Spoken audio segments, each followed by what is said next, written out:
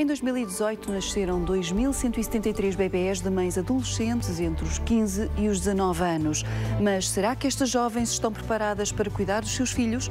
A ajuda de mães está no terreno a orientar estas famílias e hoje a Presidente vai estar à conversa comigo.